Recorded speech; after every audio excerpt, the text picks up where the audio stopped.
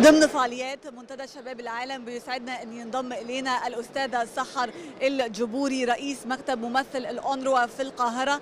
أهلا بحضرتك يا فندم. أهلا وسهلا. يعني حضرتك كنت إحدى المتحدثات في الجلسة اللي السيد الرئيس عبد الفتاح السيسي حضرها تحت عنوان المسؤولية الدولية في إعادة إعمار مناطق الصراعات. عايزين نعرف دور الأونروا فيما يتعلق بهذا الشأن. الأنروا وكالة إنسانية هي أقدم وكالة إنسانية في الشرق الأوسط أو في المنطقة عموما وهي قصة نجاح استمرت 72 عاما. تعمل على تقديم الخدمات التعليمية والصحية والإغاثية والاجتماعية وأيضا في حالات الطوارئ وتصحيح المخيمات وغيرها.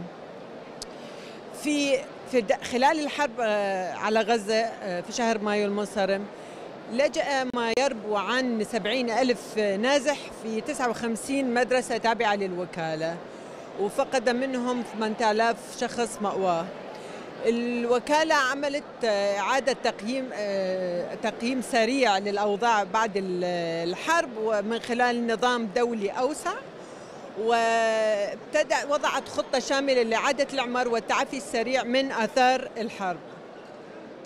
بناء على هذا ركزت على اللاجئين الفلسطينيين اللي فقدوا منازلهم أو تضررت منازلهم بشكل أو بآخر ممكن يكون ضرر كبير أو جسيم أو طفيف بحيث أعانتهم على إعادة الإعمار.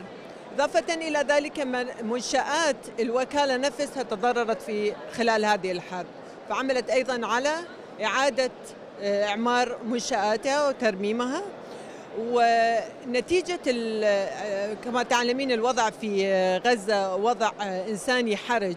فهم بين نار الحصار وبين نار الحروب أضيف إليها براثن الجائحة التي تهمت فلذلك الوكالة قدمت لهم عملت على تخفيف العبء الإنساني تقديم مساعدات غذائية وإنسانية ونقدية. يعتمد الآن 1.4 مليون لاجئ فلسطيني داخل القطاع على المساعدات من الوكالة. عارفة سكان غزة هم مليونين أكثر من مليون شوي فيعني نسبة كبيرة من سكان غزة هم أصلا لاجئين. فاعتمادهم على الوكالة اعتماد كبير.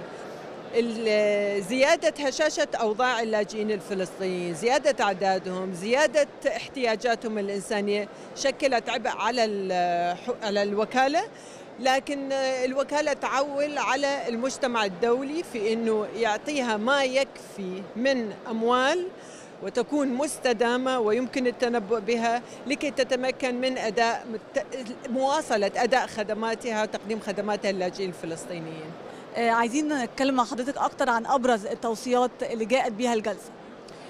يعني ما ما طلبته أنا كممثل للوكالة هو مساعدة الدولة المصرية من خلال مبادرة رئيس السيسي لإعادة إعمار القطاع في مد يد العون للوكالة من خلال بناء فصول جديدة في مدارسها القائمة وذلك لكثافة كثافة الطلاب داخل هذه الفصول وعدم قدرتنا على التوسع وأيضا تشغيل اللاجئين الفلسطينيين من خلال في في مشاريع إعادة الإعمار والوكالة مستعدة تيسر لهم ربط اللاجئين اللي باحثين عن العمل مع الحكومة.